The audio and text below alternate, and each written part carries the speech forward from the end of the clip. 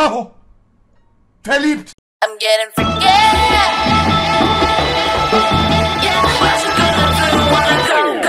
Everybody know I'm a visual.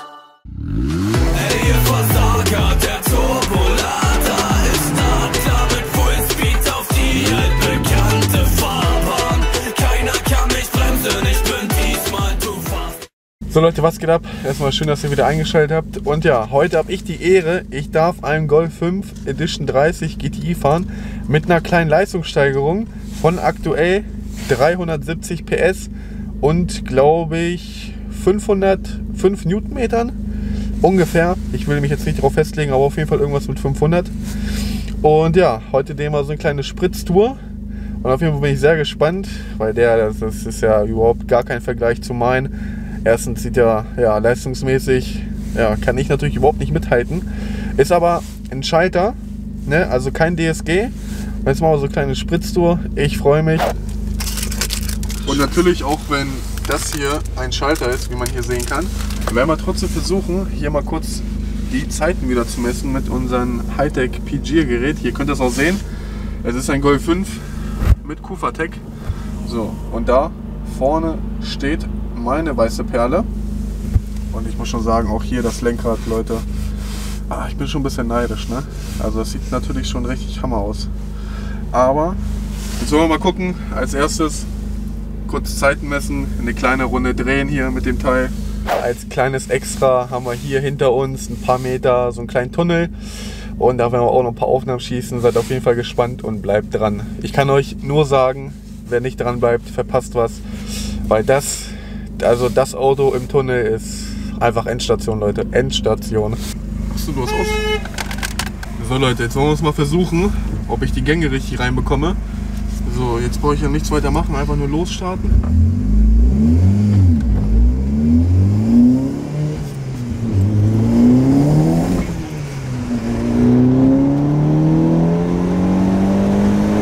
So Leute, jetzt könnt ihr das sehen, ich habe es jetzt nicht so wirklich geschafft, äh, so richtig zu schalten. Äh, ihr habt es ja wahrscheinlich gehört, 9,68 sehe ich hier gerade, haben wir da drauf. 0,63 G-Kraft und ja, aber ihr hört schon wahrscheinlich wieder brummt, ne? das ist ja, das, ja was soll man dazu sagen, da kann meiner auf jeden Fall nicht mithalten, bringt auf jeden Fall richtig Bock.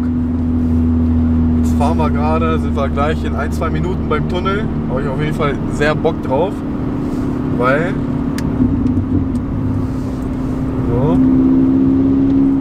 Ja gut, jetzt bin ich im sechsten, wir müssen auch ein bisschen Sprit sparen, ne? Weil die Mühle, die frisst ein bisschen mehr wie meine. So, einen kleinen Moment. Ich glaube, jetzt habe ich es angemacht, ne?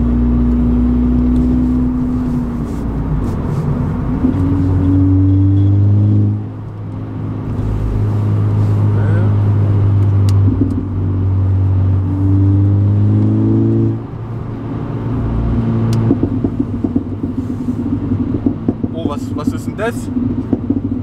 Hat der gute Golf etwa Durchfall?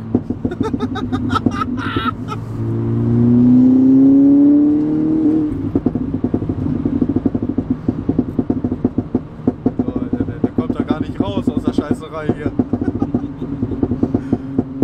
Übertrieben geil, kann ich euch nur sagen. Wir fahren jetzt aktuell im vierten Gang. Ich hoffe mal, so von der Geräuschkulisse passt das. Wir sind gerade bei dreieinhalbtausend Umdrehungen. Und jetzt könnt ihr mal sehen, wie das Auto zieht.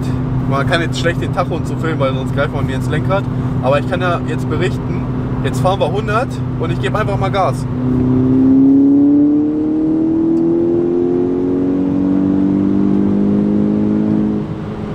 So Leute, das waren 180. Innerhalb von, oh, lass mich lügen, das waren jetzt gefühlt 2-3 Sekunden oder 4 Sekunden. Jetzt hat er wieder Durchfall. also ich denke mal 0, 100 ist glaube ich eine Zeit von 6, 7 Sekunden würde ich sagen.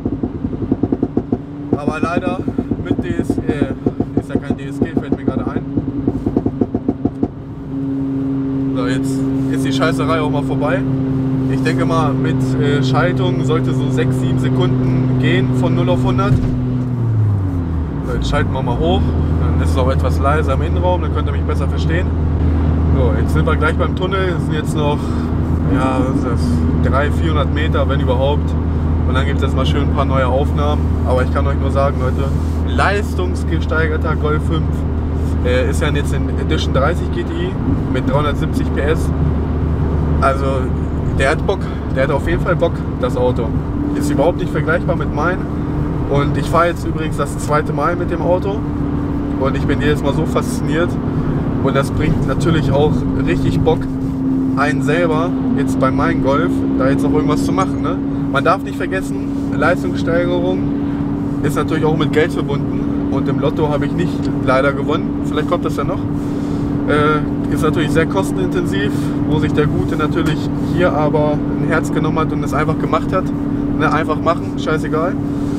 So, die Freiheiten habe ich zurzeit leider nicht. Aber ist auch halb so wild. 200 PS reichen auch, um äh, von A nach B zu kommen, sage ich jetzt mal. Und ja, jetzt sind wir hier schon im Tunnel. So, das reicht jetzt auf jeden Fall. Sollen wir mal ein bisschen die Scheibe runter machen?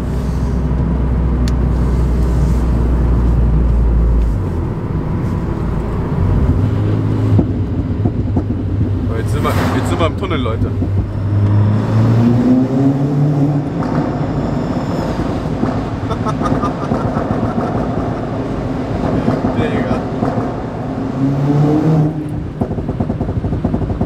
Der hat auf jeden Fall richtig Bock. Ich weiß, ihr habt das vielleicht gerade jetzt gesehen. Ich bin jetzt im dritten gefahren und wir sind jetzt von ungefähr 2000 Umdrehungen auf 5000 haben wir jetzt gedreht. Und dann merkt ihr auch, wenn der im dritten ist, der hat natürlich richtig Bock, ne? Also der ist, na, wie soll ich sagen, also das Auto wurde leistungsgesteigert, um damit Spaß zu haben und nicht sonntags nur Brötchen holen, ne? Also, gesagt, man tritt aufs Gas und das Auto gibt einem das Zeichen, ich hab Bock. Ne? Auch hier mit der Kupplung ist ja auch eine andere drin. Jetzt fahren wir mal im vierten, etwas geschmeidiger. Natürlich gleich, gleich gibt es nochmal Aufnahmen von außen, ne? gar keine Frage, aber einmal noch.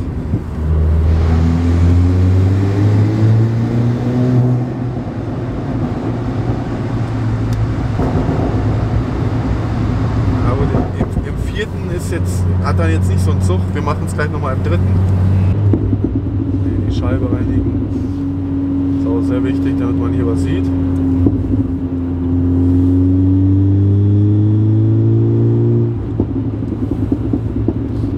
Was ich immer bemerkenswert finde, bemerkenswert, so rum, wenn man jetzt, sag ich jetzt mal, irgendwo unterwegs ist und, sag ich jetzt mal, der Golf Durchfall hat, nenne ich das jetzt mal. äh, ihr wisst natürlich alle, was damit gemeint ist, hoffe ich mal. Ne? Äh, dann ist es bemerkenswert, wenn man jetzt das Auto nur hört, man denkt, da kommt, weiß ich, ein Ferrari, sonst irgendwas ein Auto und dann kommt da wortwörtlich nur so ein Golf 5 um die Ecke. Also da, da staunen schon die Passanten oder Fußgänger, so nach dem Motto, Hö, wieso ist das Auto so laut? Gucken immer hinterher und wundern sich, was ist denn da los? Ich, ich selbst wundere mich auch.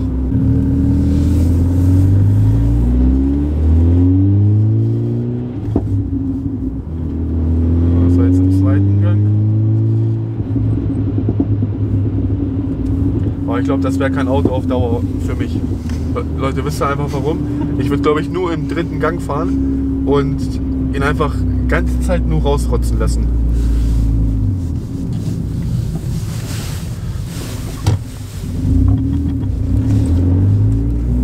Ist natürlich auch Schaltung. Ist ja, ich bin es gar nicht mehr gewohnt, so richtig zu schalten, wenn ich ehrlich bin.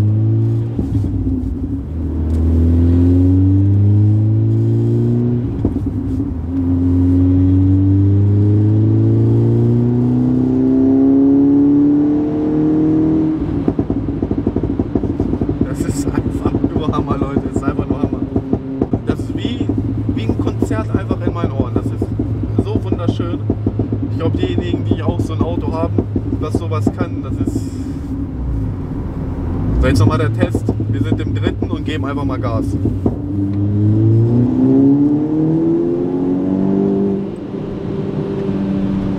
Das ist einfach nur Zucker. Einfach nur Zucker. Hammermäßig.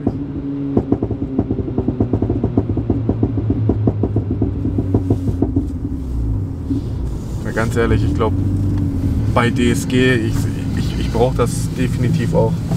Da führt einfach kein Weg dran vorbei, dass meiner auch Durchfall bekommen muss. Das nützt einfach nichts. Das muss so.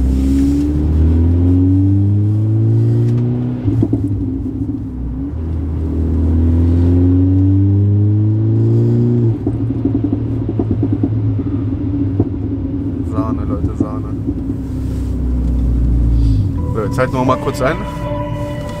Und ich stelle mich jetzt kurz nach draußen. Dann gibt es noch mal ein paar Aufnahmen von draußen. Und dann würde ich mal sagen, genießt es. Es ist so Hammer.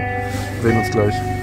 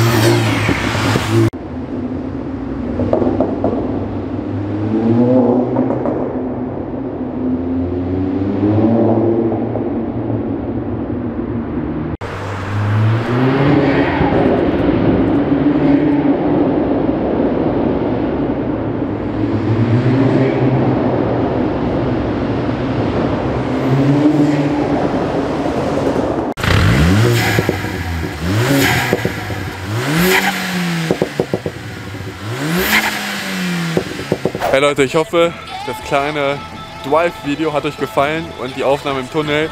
Schreibt es mal in die Kommentare, wie ihr die fandet. Also das ist einfach nur Musik in meinen Ohren. Ich fand's mega geil. Jetzt ist hier noch so ein bisschen mehr los. Aber egal, ich bedanke mich fürs Video. Reingehauen, liken, kommentieren, abonnieren nicht vergessen. Diese LKWs. Egal Leute, haut da rein. Hat Bock gemacht. Wir sehen uns.